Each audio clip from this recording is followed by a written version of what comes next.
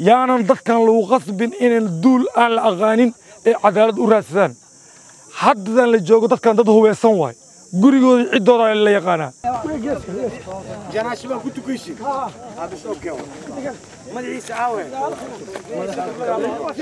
dawladdu si cadaalada wax uga qabato ama dadka ha isku dayso ama ha kala dhiciso. Maanta oraxdaanaan taaganaa meydkiaan duugaynaa meyd dhalase waa la duuga haddaan wax laga qaban. In la wey kara ma ahan lambarkiisa ilaa hadda wuu shaqeeyaa mushaarkii hadda bishaan way u soo dhacday mushaarkiyaa ku dhacaayo xataa tiktok intuu iska duubo miliis dabashaada marna zuug isku soo sabira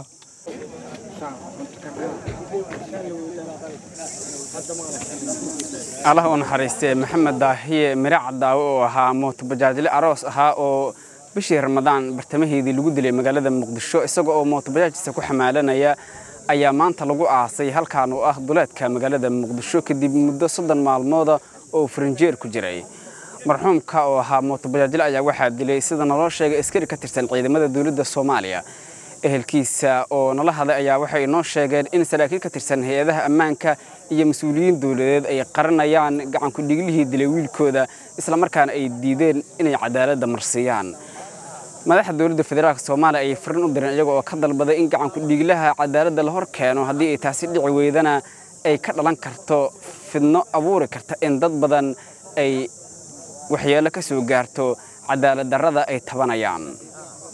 Waa kuwan qaar ka mid a odayaasha dhaqanka ee marxuumka iyo aabbihiis oo warbaahinta la hadlay. Waxaan u sheegayaa cadaalad inaan helnaan rabnaa. Dowladda waxaan u sheegaynaa inaan cadaalad helno intaasaan sugaynay soddon iyo kow maalmood oo farinjeer ku jiray intaasaan sugaynay.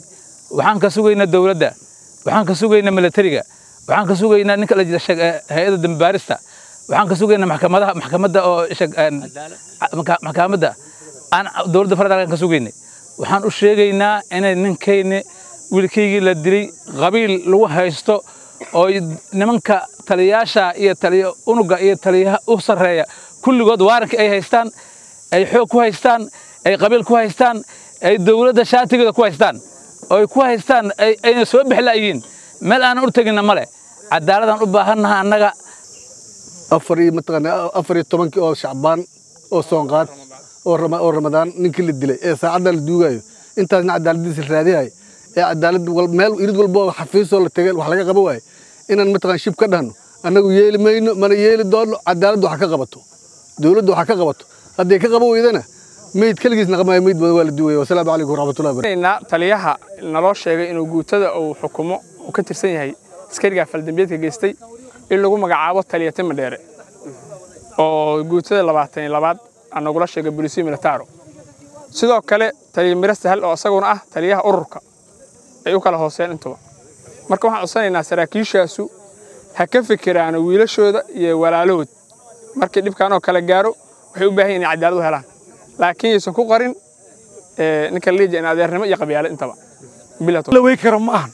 Lambarkiisa ilaa hadda wuu shaqeeyaa. Mushaarkii hadda bishaan way u soo dhacday mushaarkiyaa ku dhacaayo xataa tiktok intuu iska duubo miliis dabashaada marna zuug isku soo sabira. Waxaasoo dhan annaga waa la socnaa. Weli waxaa ognahay rag ka mida oo laamaha amniga ka mida habeenkaasi ninkii intaa la qabta la sii daayey kasaana loo daayey xilligan wixii ka dambeeyo dowladda soomaaliya oo ugu sareeya madaxweynaha dalka guddoomiyaha gobolka banaadir laamaha amniga annagu sabarkaa naga yaraaday. Dadkan dad dowladnimada ku soo koray dhex jooga aaminsan sharcigii kala dambeynta ogol waayo yaanan dadkan lagu qasbin inaan duul aan la aqaanin ee cadaalad u raadsadaan. Marsiiyo maxkamaduhu way ku mahadsan yihiin waana soo marsiiyeen cisbitaal iyo kulli waxa dhan iyo c i d aad iyo aaday u mahadsan yihiin waa noo soo dadaaleen. Laakiin meesha caqabadu naga haysato waa meesha aqoontii iyo ogaalka uu fadhiyo ninkii uu ku lahay raska uu ku lahaa.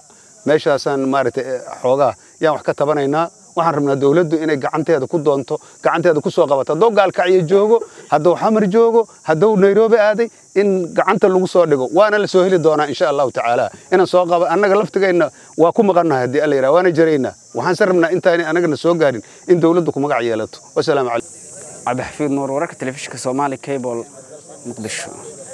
Waafi waa application casri ah oo aad si fudud uga maamulan karto adeegyada maaliyadeed sida sahal sahal e v c balas jeeb xawaalada taaj bangiga iyo adeegga isgaarsiinta oo kuu sahlaya inaad soomaaliya qiimo jaban ku soo wici karto waafi waxaad ku isticmaali kartaa gudaha dalka iyo daafaha dunida kala soo deg play store ama app store waafi isku xidhaha qurba joogta iyo qaran joogta internet balas waa adeeg ay macaamiishu ka heli karaan internet fiber ah oo xawaarihiisu yahay labaatan megabytes per second ayna la socdaan rasiifar ay ku jiraan in ka badan afar kun oo kanaal iyo boqolaal daqiiqado oo ah ku hadal bilaash ah